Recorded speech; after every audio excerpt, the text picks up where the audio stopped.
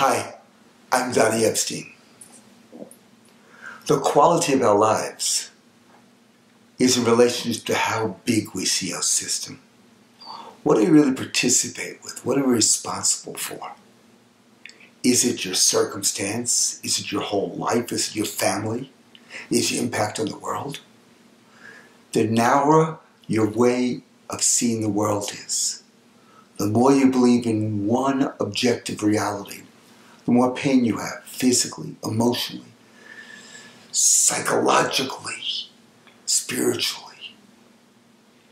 I'd like to speak to you just briefly about the second type of pain.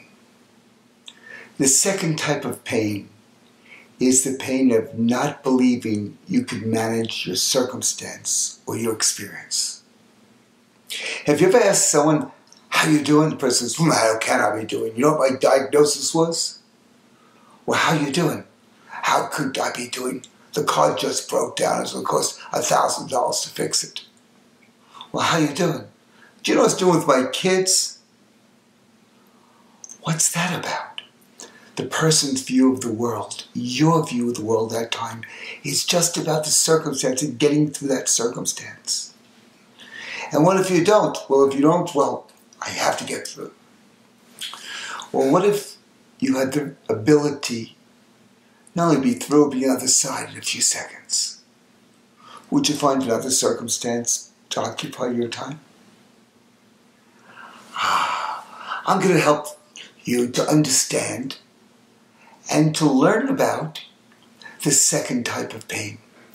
The pain of not being able to manage a circumstance or a situation where life becomes that, and if you can't manage it, as if you can't live.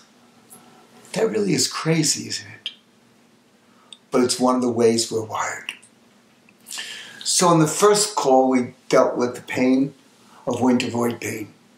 And now it gets more intense, and you have the opportunity to have the pain of not being able to manage circumstance.